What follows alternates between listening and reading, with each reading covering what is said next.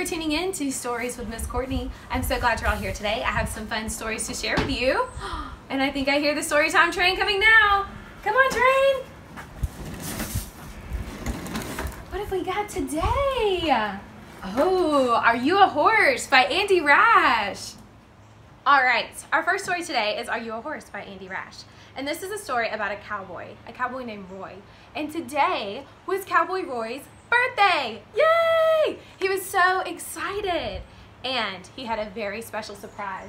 His mom had sent him a gift. And when he opened it up, he saw that it was, ooh, a saddle. He said, yeah, I'm so excited, a saddle. This is great. But then he thought, he said, what do you do with a saddle? Luckily, there were instructions. It says, find a horse, enjoy the ride. So Cowboy Roy went out to look for a horse. He knew he could do it. He searched high and low until he found somebody who might be a horse. Squeak, squeak, squeak. He said, hello, are you a horse? Squeak, squeak, squeak. Toodles, is this a horse? No. No, this was a mouse, not a horse. So Cowboy Roy kept looking. He searched high and low until he found another friend. Meow. He said, hello, are you a horse? Is this a horse? Meow. No, this wasn't a horse. This was a cat. So he kept looking.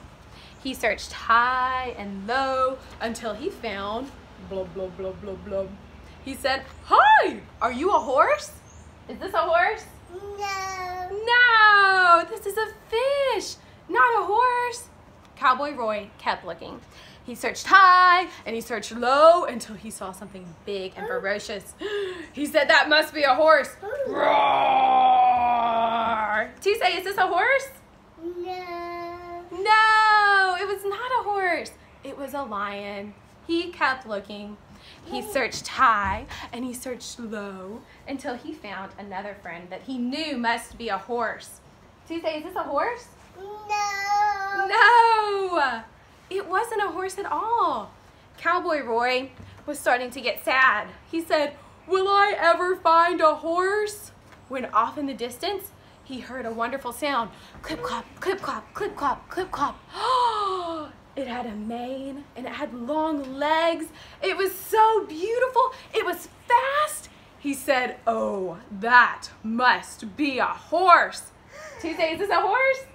Yay! Yes, it is a horse. He was so excited. He said, I know what to do. He got his saddle and he put it on his back and he said, Hop on, horse. And the horse hopped on and they rode together off into the sunset. Yeehaw! And it was the best birthday ever. And that is the story of Are You a Horse by Andy Rash.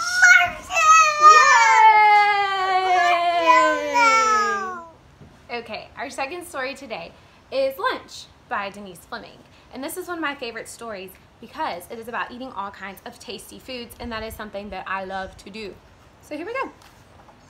Mouse was hungry. He was so hungry.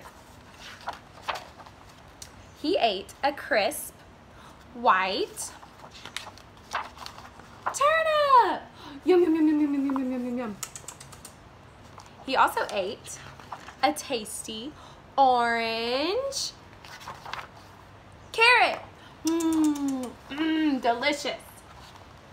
He also had a sweet yellow corn. Yum, yum, yum, yum, yum, yum. And he had some tender green peas. Yum, yum, yum, yum, yum, yum. Ooh, he really likes peas. He also had a tart blue berry. Yum, yum, yum, yum, yum. Mm, mm, mm, nice and tart. He also had a sour purple grape. Yum, yum, yum. Delicious.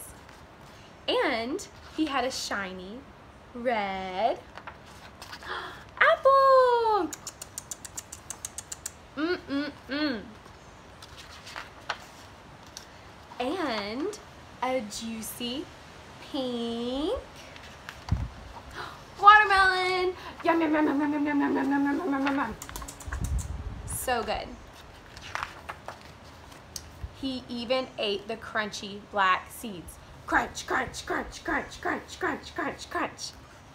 Then he took a nap. Until dinner time. And that is the story of Lunch by Denise Fleming. Thank you all for tuning in with Stories with Miss Courtney today. I hope you have a wonderful week, and I look forward to seeing you next week. Bye.